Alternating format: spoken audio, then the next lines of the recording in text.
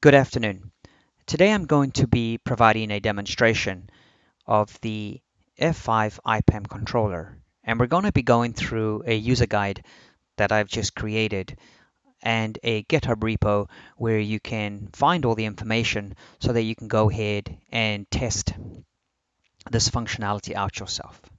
So what exactly is this F5 IPAM controller and how does it work?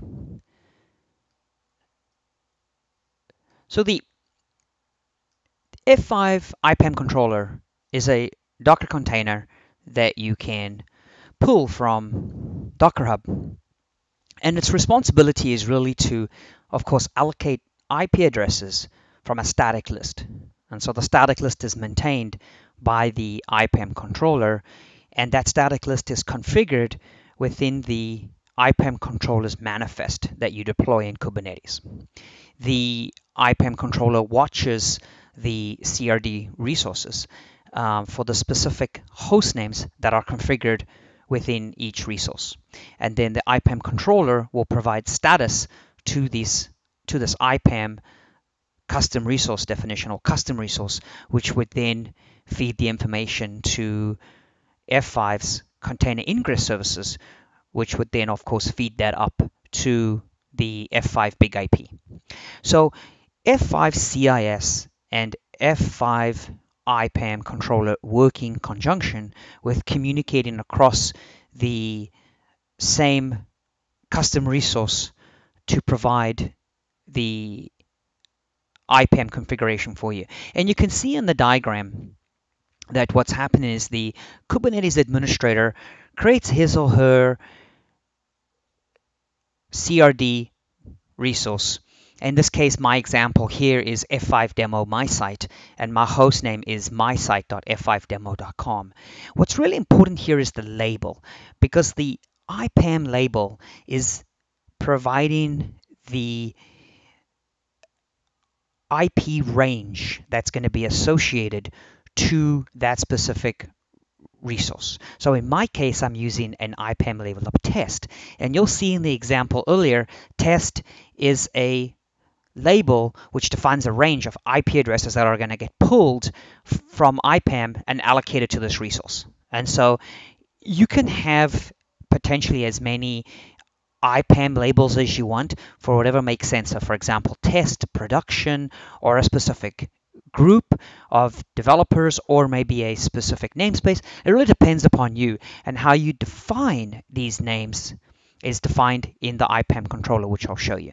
So as you go ahead and create your CRD, what will happen is the CRD will get created um, that CRD CIS will actually communicate across the same API with the IPAM controller and what will happen is the IPAM CRD is going to be created as well. So when the when the when the CRD is created, the IPAM controller custom resource is updated. So what's ha what's happening here is you can see my my my my host of mysite.f5demo.com is now updated in the IPAM CR with the specific host specs. In this case, it's mysite.f5demo.com with a label of test. You can see there is the, the host and the, the, the label.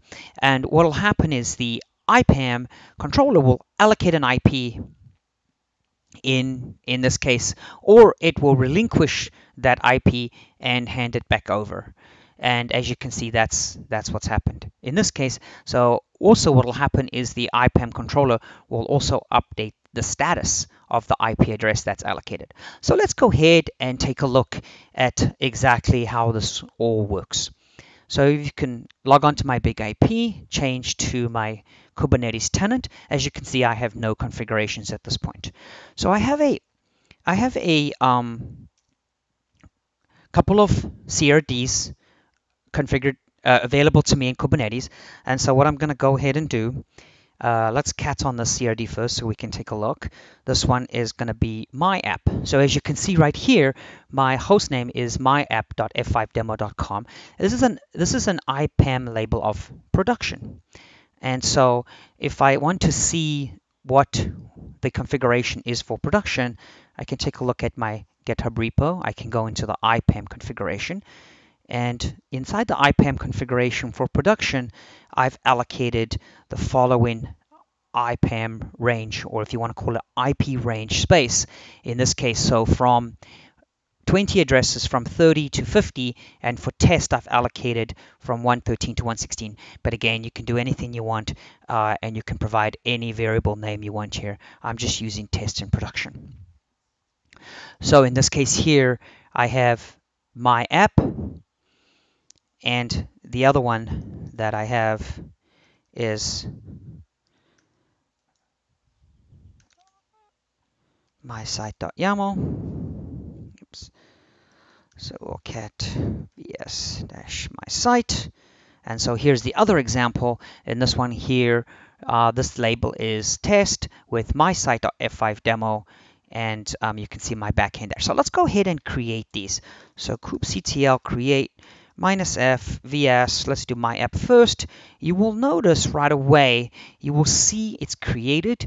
The first thing that you're going to see here is the communication between the F5 big IP and CIS. So CIS is sending the API call. In this case, we're using the AS3 based API to update the big IP's configuration. What you'll also see if I'm monitoring the IPAM, you can actually see here that we allocated a request. We allocated, allocated a request for hostname my app. And you can see there is the IP address. It's the first IP of the range. And there was the update right there. And so if we take a look back at the big IP, we can see that there is there is the first one.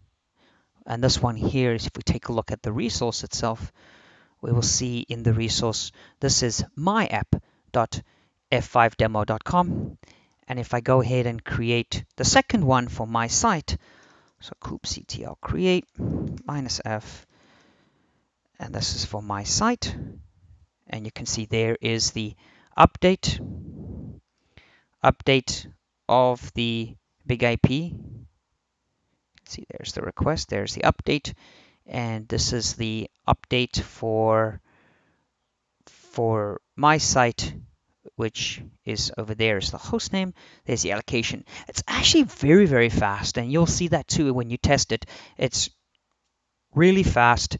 These updates are, um, as you can see, added right away. As soon as that CRD is created, IPAM automated, automatically updates the IPAM CR um, with that information. You can actually view that IPAM CR if you wanted to as well. You could actually see the status um, of the of the two. You wouldn't necessarily go and edit the IPAM custom resource because that is managed by the IPAM controller itself. However, you can view that configuration if you wanted to.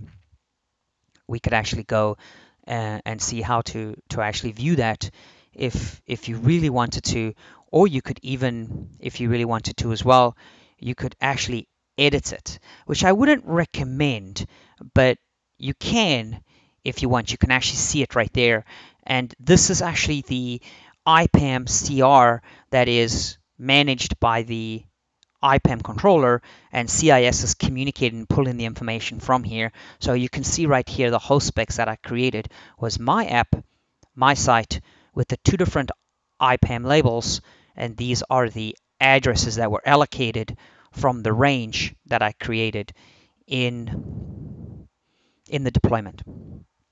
So how do you go about testing this?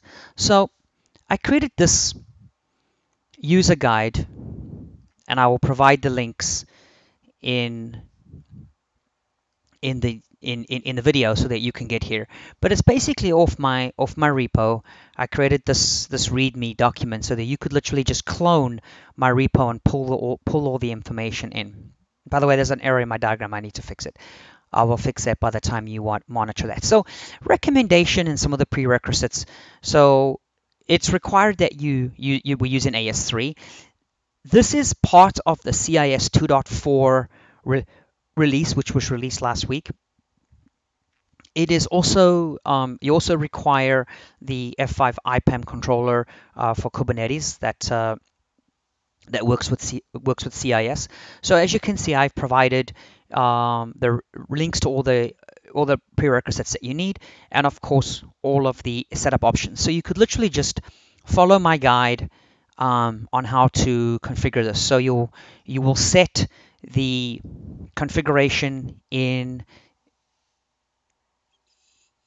in the CIS deployment to say I'm using IPAM is equal to true. In my case, I'm using shared nodes, but you, you don't have to. That's just something I was testing. Uh, here is my IPAM controller. This is where you would define your range, what level of debugging you would need to use. And then, of course, to deploy the IPAM, you'll create the specific RBAC that you need for IPAM to be able to communicate with CIS. The, of course, the IPAM has a schema, and that schema is for the IPAM custom resource. And then, of course, you'll create the IPAM deployment. Once you've done that, you can actually view the login of the IPAM and you can actually see what it's storing and how it's actually allocating um, the different stores.